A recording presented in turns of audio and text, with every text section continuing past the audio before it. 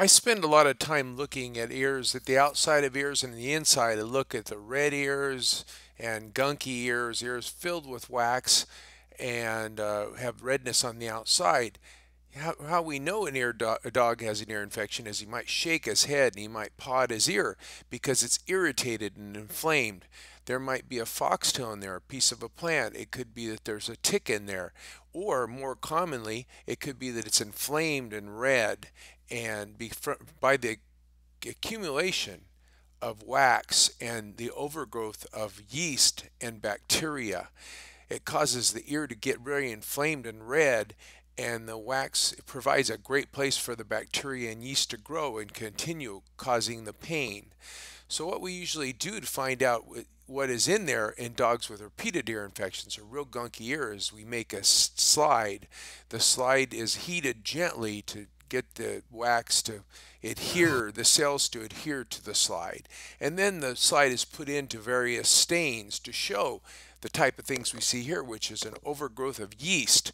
And as you know, in humans, yeast can cause itching and burning. The same thing with dogs. The overgrowth of these little footprint shaped critters can cause itching and burning in the ears. And also, if those same footprints are joined with little round bacteria called cocci, the, the burning and inflamed red ears can get worse and need different medicine.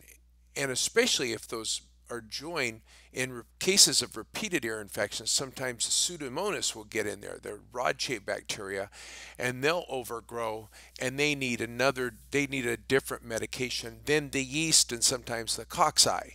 It's real important to clean a dog's ear to get the gunk out in order to make sure the medicine gets to rest against the clean skin of the ear in order to fight the bacteria in the yeast and doesn't get, get hung up in the gunk. So we flush the ear several times with an ear cleaner. Uh, we have one that's effective against yeast and that was most what this dog's problem was so we're going to use that. It's Fido Vet Cat. There's also a Douxo ear flush that's great and actually provides some uh, nutritive oils to the skin. So anyway, uh, it's good, important to clean that ear out. Uh, sometimes just a maintenance of twice a week is good for ears that tend to get dirty all the time and have frequent infections. But if your dog doesn't show any problems, don't just put ear wash in there because if it's not broke, don't fix it. Once we get all the wax out, we're going to use Claro, which has an antibiotic, an antifungal, and a steroid.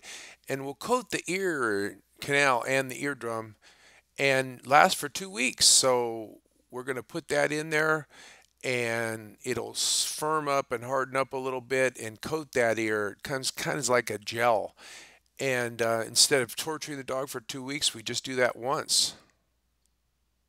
The dog's ear is really commonly inflamed and infected. Many breeds of little white Shih Tzus and Poodles have too much hair in the ears, are, are affected by pollens and molds.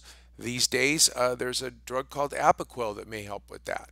Labs have a real tendency to get ear infections due to food allergies uh, to wheat and beef and chicken, and I usually recommend a fish and potato, a venison and potato, or rabbit and potato for those dogs. Also remember, if you if your dog is allergic and you want to do a limited ingredient diet, you have to feed just that one food like fish and potato, but you can't feed them also biscuits and treats. You have to get a fish treat or a rabbit treat or a venison treat. Just don't go to the store and buy bacon strips or any of those poisonous, not poisonous, but they're uh, allergy causing treats. You have to just feed one food or ingredient for about 30 to 60 days to see if it makes a difference. And a lot of times skin problems and ear problems will clear up. That's what I wrote my dog diet answer book about. I have a section that talks about limited ingredient diets and how you treat dogs with skin allergies and ear allergies. Anyway, well, I hope you enjoyed it. There's more to come on ears. I'm going to make, uh, in the next week or so, I'm going to make some more videos about ear types of ear infections that you can see, and so you get a better handle on it. Have a great day.